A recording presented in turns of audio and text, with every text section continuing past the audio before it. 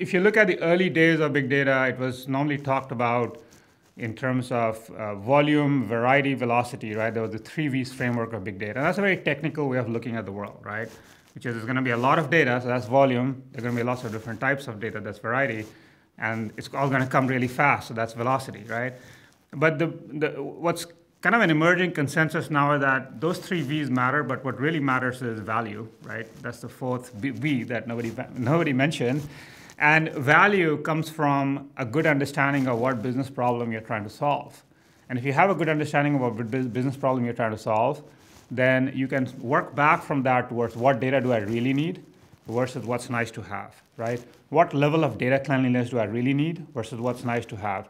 When you do these things as technical projects, which is what a lot of BI systems were built off of, there was kind of an, almost an overinvestment in trying to solve basic nitty gritty problems Whereas when you come back from a, hey, I just need to be right 60, 70% of the time because, you know, if I can predict 50% better what someone's likely to do, my marketing or sales productivity is going to go up significantly. It, it really changes the equation. Uh, there are systems, just to kind of as a caveat, there are systems where uh, that absolute data accuracy and completeness of all different data sources is important. When you do risk management, for example, uh, when you're trying to predict that outlier who's going to behave badly and bring your bank down, right? That's when you have to go for the big project, right?